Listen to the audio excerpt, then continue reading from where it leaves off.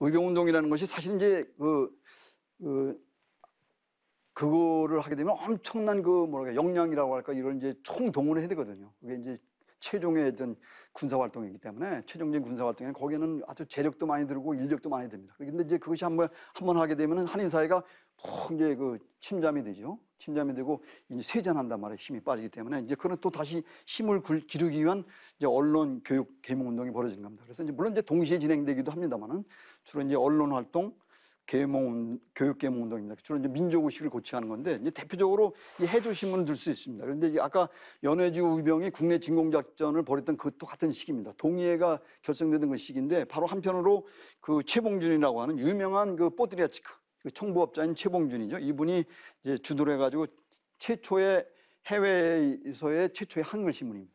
아주 완벽하게 100% 한글입니다. 이 석판 인쇄로도 찍었던 건데 아직 그 인쇄, 인쇄 그 활자로도 찍었던 게 인쇄인데 이것이 이제 블라디보스톡에서 이제 해조 신문 뭐냐면 해조 신문이 자꾸 이제 그 조자를 잘못 쓴 경우도 많이 있습니다. 조자가 뭐냐면 그 조선 사람 조자죠. 예, 해삼이 해는 해삼이에 있는 조선 사람의 신문. 그래서 해조 신문입니다. 그래서 이제 해조 신문을 창간했는데 이것이 한 3개월 정도밖에 유지가 안 돼요. 그래서 이제 주로 이 이제 이 최봉준이라는 사람이 이제 엄청난 부호인데 준창호라고 하는 그 블라드보스톡의 성진을 와, 오며 가는, 오가는 그런 그 뭐랄까요 그 선 배의 이제 소유자기도 합니다만은 그리고 이제 한인 사회에서 이제 아까 말씀드렸던 최재형 그다음에 이제 김항만 이 사람과 같이 이제 소위 한인 사회 삼골 세 명의 호, 영웅 호골이다 이렇게 이제 불러 호골이다 이렇게 부른 부른 분인데 이분이 이제 맞는 거죠. 그래서 최재형 선생하고 의형제입니다. 그래서 이제 그 연해주 의병은 반대를 했어요. 최봉준 선생이나 김항만 선생 경우는 그 연해주 의병을 반대를 했어요. 물론 이제 아까 말씀드린 것처럼 동의회 동의회가 이제 그 선생님 총장 총장이었잖아요. 그래서 동의회가 이제 의병운동할 때 의병 운동할 때는 연해주 의병이 국내로 진공할 때는 선생 그걸 전폭적으로 지원했어요. 근데 이제 이제 그 이후에는 입장을 바꿉니다.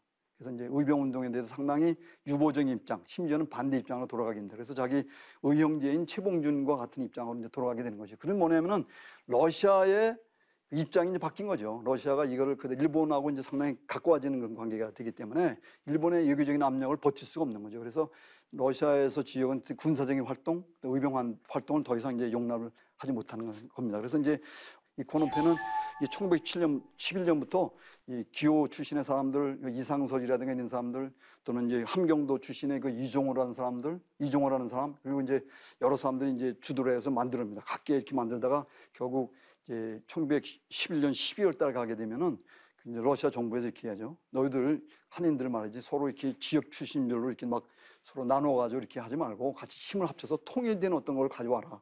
그럼 우리가 승인해 주겠다. 그래가지고 그 곤다치라고 하는 아까 말씀드렸던 곤다치라는 사람이 그 이제 이, 이 권오패를 이제 승인하는 겁니다. 그래서 아주 합법적인 그 기구로 그래서 여기는 주로 이제 함경도 사람들, 그다음에 평안도 사람들, 그다음에 황해도, 그다음에 충청도, 경기도 사람들, 이 모든 그 당시 이제 지방 출신했다는 이제 파벌들이 있었는데 이 모든 파벌들이 다 참여를 합니다. 그래서 1911년 12월 달에 하게 되면 공식적으로 이 권오패가 아주 그 러시아 당국 곤다치 총독을 비롯한 여러 그 감, 핵심 간부들이 말이죠.